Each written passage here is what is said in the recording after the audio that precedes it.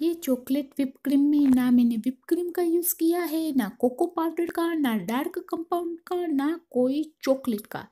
ऐसा ज़बरदस्त तरीका लेके आई हूँ कि आप यकीन मानिए आप सोच भी नहीं सकते। केवल पाँच रुपये में ऐसा तरीका कि एकदम डिलीशियस आपके कप केक मफिन्स लगेंगे। तो फिर वेट किस बात का? पूरा वीडियो देखो एंड कमेंट में ज़रूर बताना पसंद आई रेसिपी कि नहीं?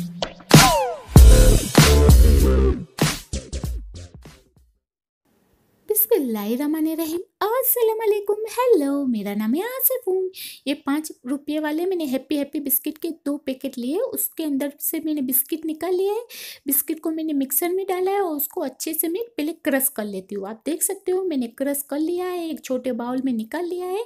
अभी इसमें थोड़ा ऐड करना पानी, ज़्यादा पानी ऐड मत करना, नहीं तो हमारा whip cream, chocolate whip cream perfect नहीं बनेगी। और आप इसके आगे की वीडियो में देखोगे कि जो मैं नमक की पीसवी से मीन्स नमक की थैली से केक को कैसे डेकोरेशन करने वाली हूँ? और होम मेड चॉकलेट मफिन्स या चॉकलेट कप केक बिना अंडे के और बिना इनो के हम परफेक्ट स्पॉन्जी कैसे बना सकते हो? तो उसके बाद का भी वीडियो देखना।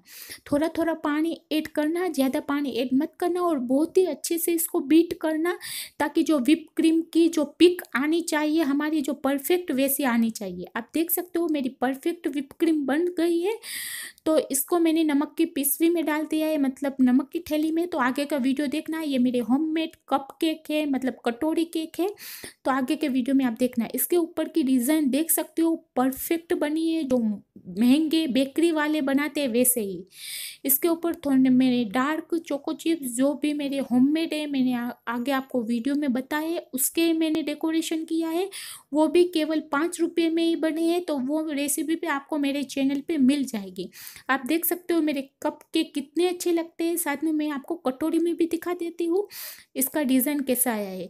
ये विप क्रीम आपको ज़रूर पसंद आएगी एकदम सस्ती है एकदम लो बजट केवल पाँच रुपये में। I hope so you like this my video subscribe to my channel click the bell icon Instagram पे भी फॉलो करना आसिफ उंडेडा ओके बाय अल्लाह हाफिज़ and thank you so much मेरा वीडियो देखने के लिए।